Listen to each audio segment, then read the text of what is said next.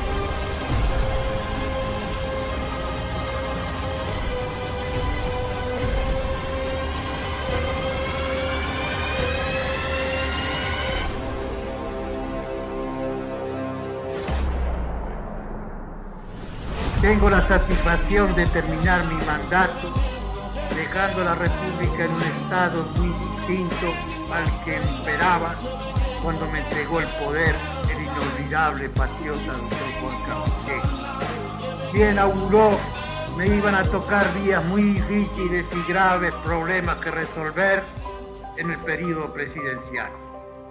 Puedo afirmarlo hoy, probarlo en cualquier época que la riqueza nacional ha crecido en estos últimos cinco años en más de 300 millones de pesos, sin comprender en este cálculo la valorización de la tierra para la cual antes de la revolución de marzo no se encontraban compradores, tareas y depreciaciones.